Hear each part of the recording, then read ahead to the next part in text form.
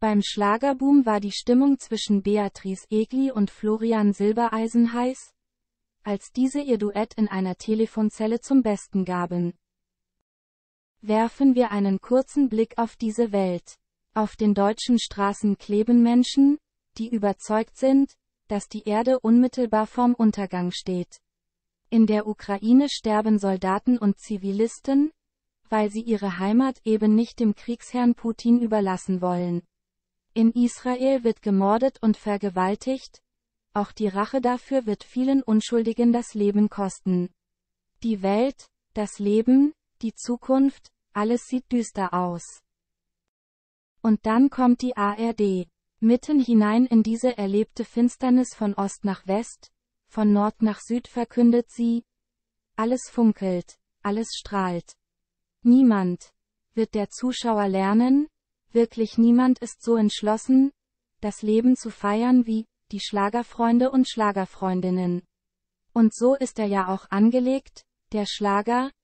Es geht um, so die Definition, einfachste musikalische Strukturen und triviale Texte, die an das Harmonie- und Glücksverlangen des Zuhörers appellieren.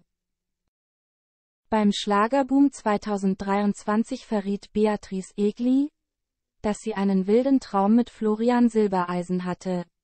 Mehr dazu im Video oben. Florian Silbereisen hat 100.000 Glücksgefühle.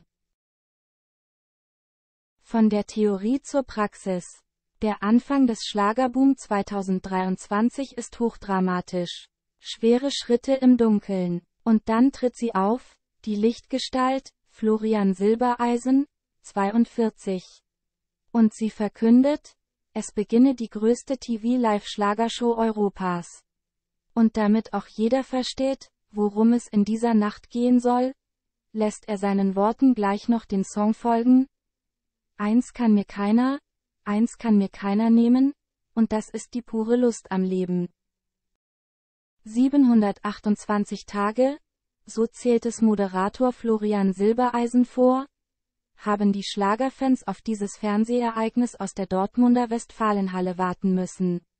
Wir funkeln zusammen, wir glitzern zusammen. So ruft es Silbereisen noch einmal in Erinnerung. Wir starten die größte TV-Live-Show Europas. In meinen Adern glühen hunderttausend Glücksgefühle. Alles funkelt, alles glitzert, singt Silbereisen in einem Duo, das mir sehr am Herzen liegt, zusammen mit Thomas Anders, 60. Den Start aber macht DJ Ötzi, 52. Kurz vor 10 folgt Roland Kaiser. Der Riese unter den Zwergen, seit mehr als 40 Jahren ist der 71-Jährige der Star der Szene, bringt das perfekte Motto für den Abend mit. Es ist alles okay, was im Leben passiert. Und im Grunde egal. In einer Telefonzelle, Beatrice Egli und Silbereisen in heißem Duett.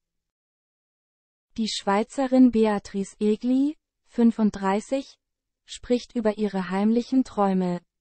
Wie die gehen, wenn's eng wird im Leben, dann kommt Florian Silbereisen mit dem Helikopter, um sie zu retten. Wenn das mal keine Liebeserklärung aus dem Unterbewussten ist.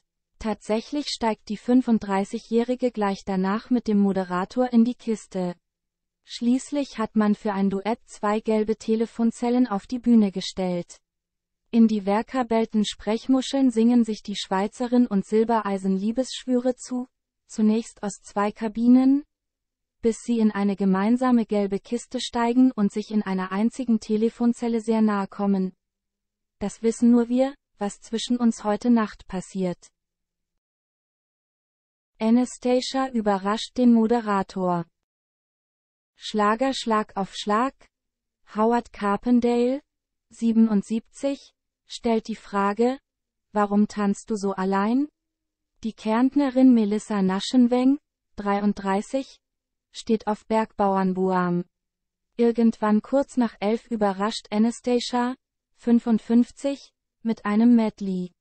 Forever Young singen die Dortmunder Westfalenhalle und das in die Jahre gekommene ARD-Publikum natürlich gerne mit. Und dann bringt der US-Star dem Moderator Florian Silbereisen auch noch ein Käppchen mit dem Aufdruck Schnuckiputz mit. Es geht auf Mitternacht zu, als dieser lange Abend sein Ende findet. Das tut sich keiner freiwillig an, singt irgendwann Maite Kelly, 43, ihren neuen Hit. Ach was, das Leben ist schön. Trotz all der Schlager. Wenn die Welt hinreichend düster ist, kann sogar Florian Silbereisen im Dunkeln leuchten.